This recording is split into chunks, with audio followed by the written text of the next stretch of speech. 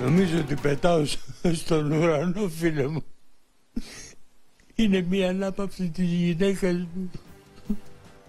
Την, την κομματιάσανε.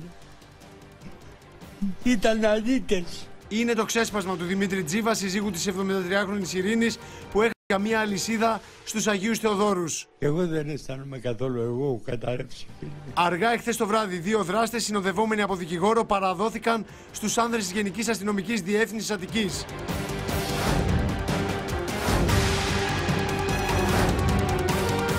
Ο 80χρονος που κλήθηκε τους αναγνώρισε αμέσως με το που αντίκρισε τα πρόσωπά τους. Η περιγραφή τους συγκλονίζει. Μας πήγανε σε ένα δωμάτιο με μία τζαμαρία Τους είδατε κύριε; και μου λένε εδώ πέρα αναγνωρίζεις κανένα και λέω αυτός είναι. Το είπατε. Το είπα αμέσως. Το είπατε αμέσως.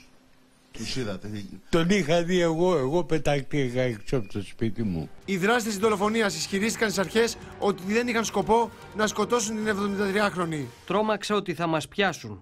Είδα τον να προσπαθεί να μπει στην πόρτα του συνοδηγού. Η κυρία μάλλον τον κράταγε από την μπλούζα, αλλά πρέπει να είχε πέσει κάτω. Εγώ δεν την έβλεπα την κυρία. Μπήκε στο αυτοκίνητο, έβαλα μπροστά και φύγαμε με ταχύτητα. Τότε κατάλαβα ότι πάτησα την κυρία γιατί χοροπηδούσε το αυτοκίνητο.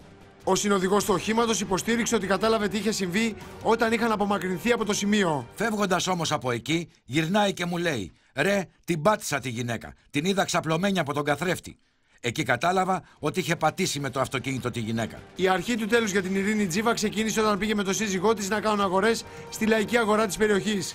Οι δύο Ρωμά είχαν πάει στην ίδια λαϊκή για να πουλήσουν οι αλλοκαθαριστήρες. Όσο βρίσκονταν στη λαϊκή αγορά, παρατήρησαν στο λαιμό της 73χρονη μια χρυσή αλυσίδα. Για το λόγο αυτό, αποφάσισαν να την ακολουθήσουν και να βρουν την κατάλληλη ευκαιρία για να την αφαιρέσουν. Αύριο οι δύο άνδρες θα μεταφερθούν στον εισαγγελέα εκτέλεσης ποινών, καθώς είναι φυγόπινοι και κρεμούν εις βάρος τους ανεκτέλεστες ποινές. Στη συνέχεια θα παρουσιαστούν στον εισαγγελέα Κορίνθου, αφού εκεί έχει σχηματιστεί η δικογραφία της υπόθεσης.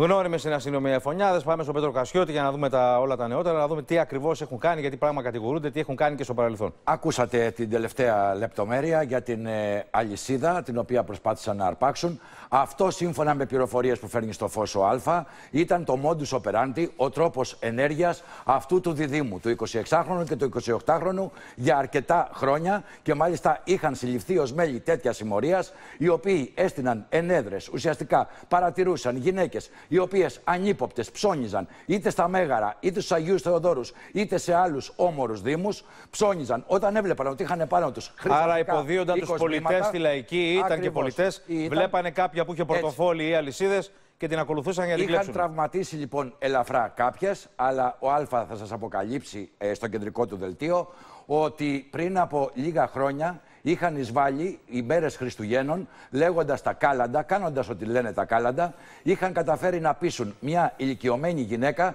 στην περιοχή του νέου Ηρακλείου Αττικής να τους ανοίξει την πόρτα. Εκείνη γεμάτη χαρά και λόγω των ημερών τους άνοιξε την πόρτα. Ξαφνικά όμως άρχισαν να τη χτυπάνε, έπεσαν επάνω της, τη τράβηξαν την αλυσίδα, την άφησαν αιμόφυρτη και τη βρήκαν λίγο αργότερα συγγενεί της και τη μετέφεραν στο νοσοκομείο. Και έτσι αυτή η γυναίκα γλίτωσε από τα χέρια τους. Και εύχομαι να γλιτώσει και η κοινωνία από τέτοιους κακοποιούς και να περάσουν μεγάλο χρονικό διάστημα για σοφρονισμό στα αρμόδια καταστήματα. Σε ευχαριστώ Με αυτόν τον πάρα τρόπο πολύ. έμπαιναν πάντα στα σπίτια. Σε ευχαριστώ πάρα πολύ.